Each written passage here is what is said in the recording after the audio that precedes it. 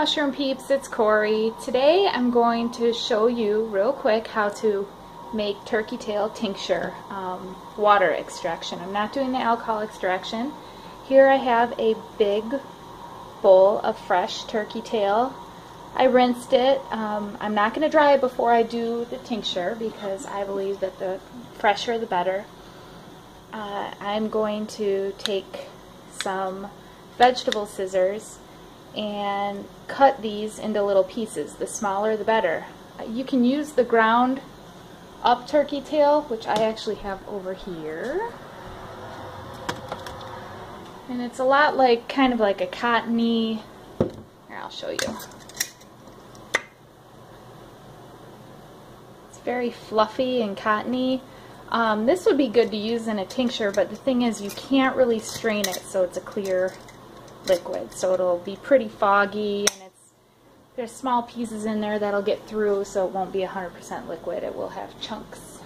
I have this strainer, which is what I'm going to use. I have my water getting ready to boil on the stove here.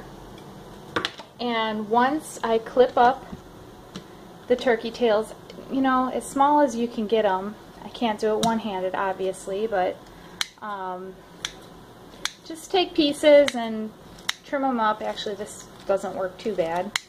Um, of course, you want like this piece really, really small. So trim it up to probably about, I don't know, as small as you can get it. Just little, little tiny, like that. That would be good right there. Um, the smaller the better, because more surface area, well, less surface area, I should say. But um, more extraction you'll get polysaccharides, which is um, anti-cancer chemical and also immune booster.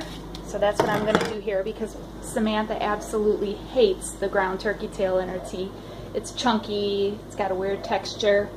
So I'm making a tincture so I can add it to her tea. Right now she has a cold and she refuses to take the powder. So um, yeah, I'm going to trim these up. I'm going to throw them in the boiling water. I'm going to cover them and I'm going to let them boil um, for about an hour. If I can, you know, if the water will last that long, I'll add water as needed.